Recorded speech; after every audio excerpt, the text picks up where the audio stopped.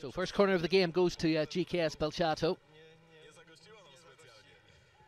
Wacławczyk w narożniku boiska.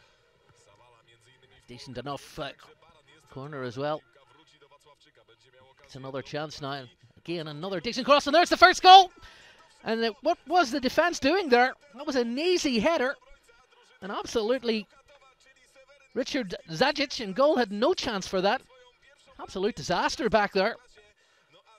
No a trzeba tutaj dodać, że kompletnie nikt nie pilnował Michalskiego, stąd zawsze Let's watch it again. Sława Michniewicza.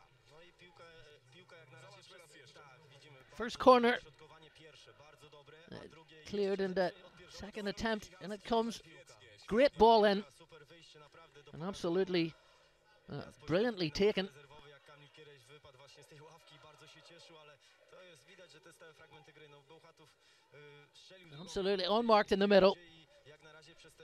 That was a great goal. zasłużenie prowadzi, bo That's GKS off to an absolute flyer.